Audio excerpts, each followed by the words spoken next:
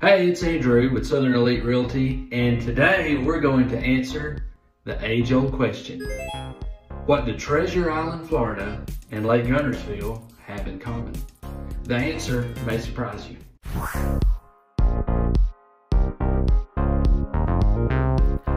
They both have Publix supermarkets on the water.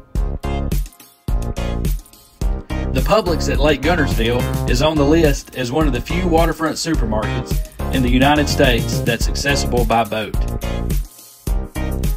There is another waterfront Publix in Treasure Island, Florida, and also plans for a new one in South Hollywood Beach, Florida.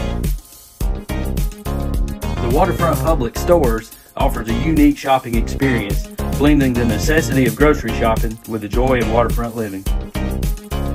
Waterfront Publix in Guntersville is located at Spring Creek. It offers a pier for docking your boat, fishing, and relaxing.